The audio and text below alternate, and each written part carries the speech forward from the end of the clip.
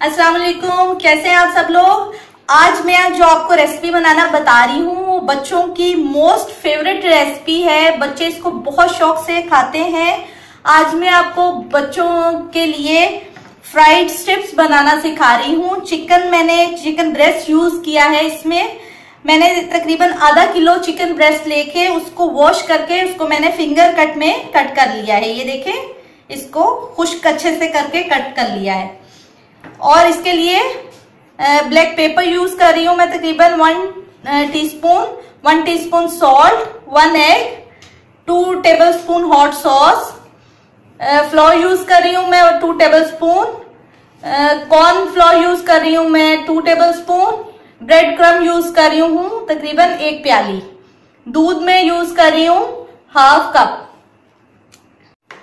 अब हमने चिकन को वॉश कर लिया हुआ था, अब हम इसमें इसको मैरिनेट करेंगे। हमने काली मिर्च सॉल्ट हॉट सॉस हम इसको अच्छे से ऐड कर देंगे। और आपके हैंड जो है अच्छे से वॉश होने चाहिए और हम इसको अच्छे से हैंड से ही मिक्स कर देंगे। और इसको तकरीबन हम लोग एक से दो घंटे के लिए मैरिनेट करके छोड़ देंगे। देखिए, हमने इसको मैरिनेट कर लिया। हमने इसमें सॉल्ट ब्लैक पेपर और हॉट सॉस लगा के इसको रख दिया था तकरीबन दो घंटे के लिए। अब हम इसको, इसके लिए बनाएँगे। हम इसमें एग एक बाउल में एग को तोड़ेंगे। और इसको अच्छे से हम और हाफ़ कप ये ठंडा मैंने दूध लिया है, इसको हम इसमें ऐड कर देंगे। और हम तकरीबन वन पिंच इसमें, क्योंकि ऑलरेडी उसके अंदर सॉल्ट ऐड है तो हम इसमें बस वन पिंच ऐड करेंगे। और इसको अच्छे से हम मिक्स कर लेंगे। हमने अंडे का मिक्सचर बना के रख लिया था, अब हम दो प्लेट्स लेंगे। एक प्लेट में हम ये मैदा और कॉर्नफ्लावर है, इसको मिक्स कर लेंगे और एक प्लेट में हम ब्रेड क्रम्स को निकाल लेंगे।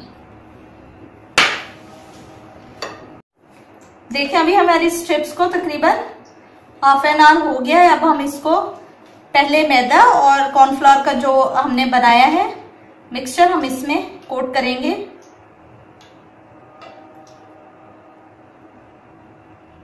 उसके बाद हम एग में और फिर हम ब्रेड क्रम्स में। फिर से हम एक स्ट्रिप लेंगे। इसको हम मैदे में कोट करेंगे। फिर एग में और फिर ब्रेड क्रम में। अच्छे से इसको प्रेस करेंगे ताकि अच्छे से इसके साथ आप इसको डबल कोट भी कर सकते हैं, इसी को दोबारा से रिपीट भी कर सकते हैं। हम इसको एक प्लेट में रखे जाएँगे और फिर इस तरह से हम सबको इसी तरीके से कोट करके रख लेंगे। देखिए ऑयल गर्म हो चुका है। अब मैं ये जो पहले से मैंने कोट करके सबको मैंने रख लिया था मैं इसको एक एक आ, साथ साथ फ्राई करूँगी ये देखें। आँच को हम थोड़ा सा मीडियम कर लेंगे क्योंकि अगर बहुत लो हीट हुई तो ये बहुत ज़्यादा नरम हो जाएँगे और वो क्रिस्पी नहीं बनेंगे। ठीक है ये साथ साथ हम इनको डालते जाएँगे। ये देखिए।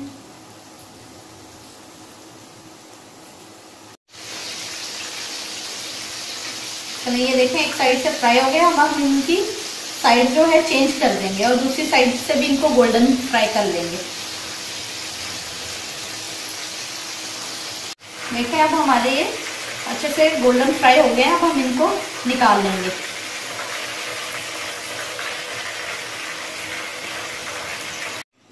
तरह से जो बाकी रह गए हैं, उनको भी हम फ्राई कर लेंगे।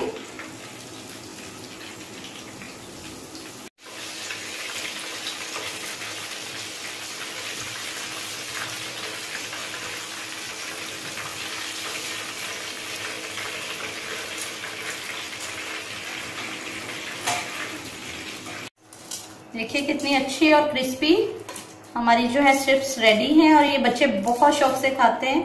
आप ट्राई करें और मुझे ज़रूर फीडबैक दें आपको ये कैसी लगी है। और जैसे सर्दियाँ हैं तो ऐसी चीज़ें फ्राइड जो हैं, वो बहुत ज़्यादा घर पे यूज़ होती हैं। अगर मेरी वीडियोस आप पसंद कर रहे हैं तो प्लीज़ अपने फ्रेंड्स के साथ ज़रूर उसको शेयर किया करें।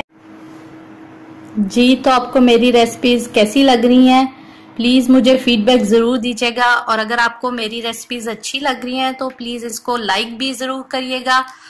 और मेरे चैनल को सब्सक्राइब करिएगा और अपने फैमिली फ्रेंड्स के साथ इसको शेयर ज़रूर करिएगा।